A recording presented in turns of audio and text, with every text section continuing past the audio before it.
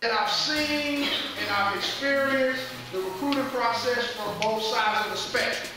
I know what it was like to be an athlete, and I know what it's like for all these schools all around the country to try to seek my services, but I also know what it's like to be a Division One head coach who is responsible for recruiting the best and the brightest talent from all across the world. All right.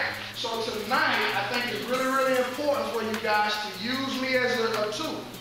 Use me as a tool to educate yourself on some of the myths and some of the facts about college recruiting. All right, there's a lot of misconceptions out here.